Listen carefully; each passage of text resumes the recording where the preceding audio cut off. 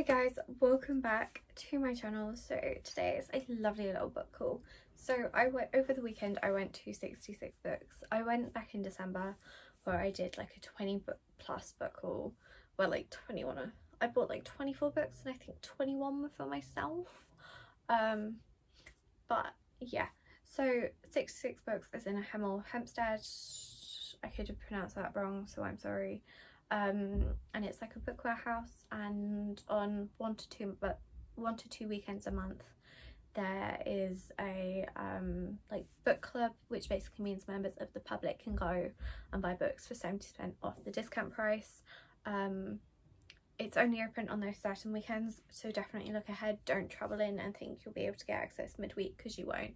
Um, and I say this because but yeah so the man when he was talking to us at the start like introduced like just say going through his like general run through because obviously not everyone's been before. He was saying like how some people have like traveled far and like turned up like midweek and obviously been turned away. So i'm just like pre-warning you like don't go midweek um because you won't be able to go there. Um and started queuing at quarter to seven got in when it opened um i wasn't the first person there and someone did arrive with a suitcase. I only took like not this bag but i took like a canvas bag um like that kind of size and came away with so i came i bought 13 books from um 66 books and then i've got two recently. When i say two recently i mean i bought two today from asda. Um a lot of these a lot of the books that I did buy from 66 books I've heard of before. So it wasn't as though I was buying loads of stuff that I've never heard of before. Obviously I did buy some where I've not heard of it before because I do still want to expand my horizons but obviously I bought the other books that I had I was aware of because obviously they're cheaper. Let's start off with the books that I bought from Asda. So I got Holding the Reins by Paisley Hope. This is a cowboy romance, slightly floppy. Um, both of the books I bought were published by like Penguin, so I, and have like that slight flop to them. So I think Penguin book Penguin books might be a bit floppier. Um, but this is just the top line says escape to the wild west with a sizzling cowboy romance that will leave you breathless um, and it's like a brother's best friend um, kind of trope. The main male character is a retired hockey person, so it's like mixing like potentially mixing a slight bit of hockey with cowboy romance and that just sounds so good. Um, and this is book one in the Silver Pines series, so there's going to be more books. This does give Chestnut Springs vibes. Like if you look at the background, does that not give Chestnut Springs? It does, it absolutely does um so yeah also i do plan to go to the works like on wednesday. Um today is monday. Um tomorrow wild love. Is it wild love? Book two in the rose hill series comes out tomorrow. Um so i do kind of although i'm wanting to make a start on all of my books this month i do still want to start some new ones. Mm. but i could wait. But I do also want to get um, the Cassandra Clare book that's got like sprayed edges and also I do want to get Daydream. I left Icebreaker at home and I and Wildfire so I do need to but luckily I've got like dentist on like Monday like next Monday so I can definitely bring those back with me. My bookcase is starting to bow like it has never had this many books. Oh well. Also the hinge is kind of like broken off but I've had it for almost six years. I've actually had it for almost six years um, and it's never had so many books. And then I also bought Morbidly Yours by Ivy Fairbanks. This book I actually came across before it was published I think or just about the published time because um, it came up on like Facebook. Um, this, so I, it also just happens to be the Tickled Pink book of like the month which I don't buy I don't necessarily buy sprayed edges. Obviously if it's going to be the same price then I might. Um but it does make me feel a bit better buying the book when 45p in total goes towards tickled pink. Um and that like well like the Tickle Pink campaign and goes between two charities, one of which is Breast Cancer Now and the other is CoppaFeel. Um, the main male character is in the undertaking business um, and the female character has recently lost a um her husband. Not potentially not recently recently but um yeah. I definitely knew i wanted to pick this up. I love the tagline falling for the wrong person bury your feelings. That's like a nice little subtle humor there. So on to the books from 66 what did i spot first I kind of think the first book that I spotted was Mexican Gothic by Silvia Moreno Garcia. Um, I didn't actually know too much about this, but I read the top and thought this kind of gives Seven Husbands of Evelyn Hugo, um, but like add it, make it Gothic. Like I've heard good things about it, and actually, this is fairly. Oh, the cooking smells nice because I'm my filming's at what time is it? It's 6 p.m. right now. Um, 301 pages so this is a shorter book um so that'd be quite nice to read um i really should stop going in order um two books that i found next were survive the night by Riley Sager and the only one left by the same author i've never i unless i go into boston's i don't necessarily see like books like this um and i do enjoy thrillers like this and i know that people love the author's books and I do actually have the odd one on Kindle. I might actually have one of these on Kindle or I might have one of the other ones. Um this one I didn't I, didn't, even look at the blurbs. I just picked them up I was like Riley Sager I'll pick them up. Um oh yeah no I did. Um it's just Charlie Jordan is being driven across the country by a serial killer, maybe. Um, part of this is giving um 10 hours to go or something like I think that's what the book's called um which was a thriller I read like two months ago that I really enjoyed um because it was following it ended up following three people in a car um on a trip where the intentions of like two people against another weren't the greatest um but then also it kind of gives weirdly enough the first part with the whole rideshare scheme kind of gives people we meet on vacation you and me on vacation i can't remember which title is the uk version because obviously poppy and alex are like going to the same going to linfield um ohio and so going the same like Poppy gets a ride with Alex. I love how I'm drawing like similarities between romance and thriller. Love that. I definitely did not read this blurb. It's a gothic thriller. It's someone who people think has like murdered their whole family but can't physically speak and like communicate like their story. Um, is it bad that my guess would be that Kit is the person who killed them?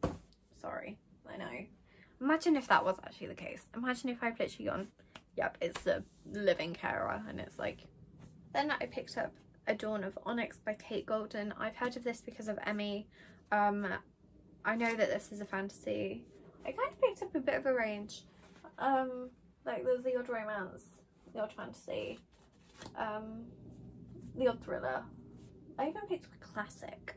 Again, I just picked, I saw Dawn of Onyx, knew that good things had been said and picked it up. Imagine if Emmy actually only rated this like a three stars. And I've just been, oh, I know that she's read it. Girl kidnapped to make, to help heal soldiers of a king, works with a prisoner who's bad to help escape. And she's trying to make it out of this kingdom. Um, and there's lots of stuff going on that stops her. Um, is this a part of a series? like the sacred stones. Oh, but we love a good map. Yes, this is part of a series. Or is it? Or have I seen um Ashlyn read this? I don't know. But no, it is the first part of a series. Um, because the next book is A Promise of Peridot. I think I've seen Ashlyn read this. I don't know. Um, but yeah, just sounds really, really good. I need to put Mexican Gothic that way, otherwise I will forget that I've talked about it. I then saw Red Queen by Victoria Aveyard. I picked this up knowing that Powerless, um, the book by Lauren Roberts, was inspired by some parts of this. Wasn't it like Hunger Games and Red Queen or something? Um, and so I thought, let's pick this up, see what we do. I'm just curious. To, there was other books in the series, but I was like, I'm only picking up book one. Um, partly because I stupidly went in there thinking, oh, I'll buy three, four books. 13 books later. Is it 13? I never actually counted. 12 books. And I paid 36.50 um, in total. I think the rated retail was like 120 or something like that. Um, so it was a lot. Um, but yeah, I just thought, let's see whether I enjoy this. Um, because obviously if I enjoyed, like, if I enjoy it, I've got another series that I can read. If not, then obviously. Then I picked up That's Left, in All That's Left in the World. First of all, I love this cover. It makes me think of Raiders of the Lost Ark um, a little bit. Um, this is a dystopian um, where two guys meet each other and form a friendship that begins to feel like another. So this is a gay romance. Is I know that sapphic is obviously lesbian. Is there like a word used for like male love, like two male love interests, um, like two men in love, um, or is it just gay? Um, genuinely educate me because I'm just curious. Basically, it's them making their way, trying to just trying to survive in a dystopian world and fall in love. Um, I know that I've seen this about I can't remember where. I think I must have seen someone haul it or something. But I just think the cover looks so cool. Um, I think in some ways part of if I was to like write a book, in some ways I think I'd want my books to be like a mixture between like this and like what um and what done and dusted is like and also the um main lumberjack series. I haven't read any of those but like but they're on kindle unlimited and i'm really my bed keeps dropping down at a certain point and i'm like what is happening here? Oh no it's fine. Um so i think i'd want my like book covers to be like that whether that be like romance or whatnot. Um, obviously if I was to write like fantasy, I'd want it to be slightly like different. But um, I think if I was to write romance or something, I'd want like some similar elements. Um, I've gone off track. Um, but yeah. Then I bought Scythe by Neal Shusterman. I think there was like book two there and as well. I only picked up book one again because if I don't like it, um, it makes it easy to get rid of and I don't feel as bad. Um, no one in this world can die, but there are people called scythes who kill people and there's two people and they might have, one of them has to kill the other. Um, but I've heard good things. Part of me was also kind of hoping like I could maybe see like Red Rising there because I am interested in reading Red Rising as well. I also picked up Britt Marie was here by Fredrik Backman. Um, I don't think I've actually heard anything about this book, but I saw the author and I know people like Anxious People and also a man called Uwe, um, or Ove, I don't know how it's pronounced. And I was like, people have been loving his stories. I know that they touch on like poignant stuff. Again, I didn't even realise, I didn't even read the blurb. I just saw Fredrik Backman and was like, bye. But it says, at first sight, Britt Marie is a fussy, passive-aggressive busybody, but hidden inside her is a woman who has bigger dreams and a warmer heart than anyone around her imagines. When she finds herself alone for the first time in decades, she, re she realises she spent her life making choices for the sake of other people. Is it too late for her to change? And in a small town of big-hearted misfits, can Britt Marie find a place where she truly belongs? This was the only book by this author and again, I want to expand my like horizons. Is this literary fiction? I think it might be. Um, and I think he does that genre well. Another book I found was Dance of Thieves by Mary E. Pearson. I've literally just seen that um, Ellen was potentially going to read this. I never completed that video um, before wanting to start filming before I lose daylight. Um, I've heard good things. Emmy has also read it and enjoyed it. This is a duology, um, but I do think, I think only the first book was there. Yeah, it's a fantasy book.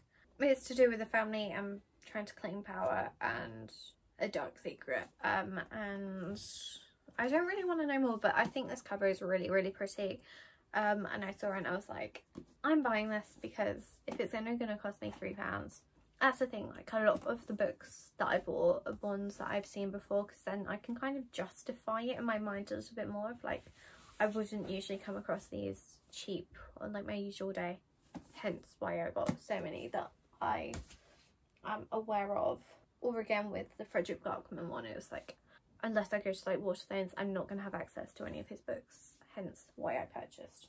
Going on to one that I definitely had not heard of is The Miniaturist by Jessie Burton. Um, I saw this cover and I was like, oh, like what's this about? Or I saw like this part I was like, oh, The Miniaturist because I knew that like it would be like miniature like building things and like rooms and stuff because there was there was an NCIS episode um related to like solving murders um, from like miniature rooms, like exact miniatures. But it says on an autumn day in in 1686, 18-year-old Nella Oortman arrives at a grand house in Amsterdam to begin her new life as the wife of wealthy merchant Johannes Brandt. Though curiously distant, he presents her with an extraordinary wedding gift, a cabinet-sized replica of the home. It is to be furnished by an elusive miniaturist whose tiny creations ring eerily true. As Nella uncovers the secrets of her new household, she realizes the escalating dangers they face. The miniaturist seems to hold their fate in her hands, but does she plan to save or destroy them? And it just sounds, it's like a mystery, historical mystery. I don't really read historical too much, but I just thought this sounds really interesting. And It's kind of like a thriller. Um, but yeah, I'm interested. And again, it's one that I don't actually see. You don't it's one that I've never heard of before. I think in reality there was probably two that I don't I'd never heard of before that I bought from 66 books and like had never seen before. Like the Riley Sager ones I've heard at least know of. Scythes I know of. That's Left in the World I've like seen about. Um, Red Queen I know of. Dance of Thieves I really know I know of. Scythe I know of. Mexican Gothic I've heard about. So it is literally the Britt Marie was here and the miniaturist that I had never heard anything about so it's pretty good going. And then I got Anne of Green Gables by L.M. Montgomery. I heard good things from Ashlyn. Um, she really loves Anne of Green Gables. I know that this is technically part of a series, but I know that this is like book one and I just, this is like a classic, I believe. I wanted to read this. I've seen this about um, and although part of me would have bought it in like a really pretty hardback, I was like, for three pounds, what would have been three pounds? We know, I'd have got less than, hey Google, what's 70% of seven? The answer is 4.9. So four pounds 90. Wait, no, I just, that's what I got off. Hey Google, what's seven minus 4.9? I don't know why I've just £2.10. This cost me £2 freaking 10. Also, it's floppy, as you can see. But it's literally a modern classic. I'm excited. I know nothing about this. But I've heard good things. This was a book that I was not expecting to find at all. At all. But I was so excited when I saw it. Like, I... There was just...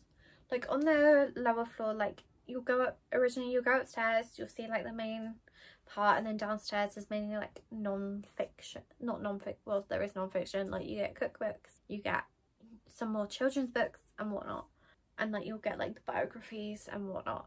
In between that shelves you'll just have on the corners there'll be like tiny shelves around like little like pillars that are like against like the far wall. I was of course i'm gonna look in every part because i i could miss a book. Um I bought The Invocations by Krystal Sutherland. I have heard great things, mainly um, because of Georgia. She loved this book, loved it so much.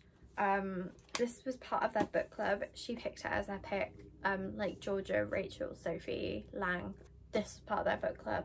Um, this has oh, it's a sapphic horror. It's a haunting horror thriller. And then I have the ebook of another book of hers called House of Hollow, um, which I have not read yet. Um, but I saw this and I was like, I need to buy this. I need to buy this. I will say, the Australian version does have like a pink cover on the end. I know it's their like trade paperback version, but I do like the pink. I did like the pink. Um, I'm not gonna lie. Um, I think this is YA. Um, I could be wrong.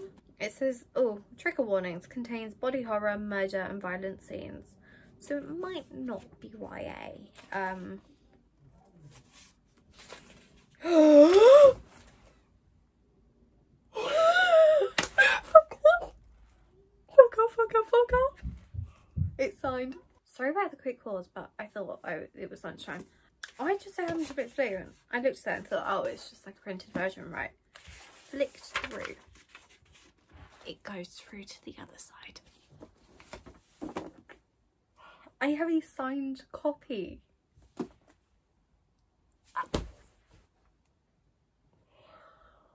Why am I going to cry about a book that I don't know whether I'm going to enjoy? I didn't. I'm sorry, I didn't even look inside this book. I saw invocations picked up. Are all copies signed? I got a freaking signed copy. And like that is definitely signed. And like the pen comes through with like different splotches as well, so it's not as though it's like pretended to be thingied on. Oh my god. that was the best ending. I left it to the end. I was checking that I had no more books. I left it to the end because I was like, this is the book that I was most excited to find. Of course, it's signed. It's freaking signed. Um, I'm sorry. What?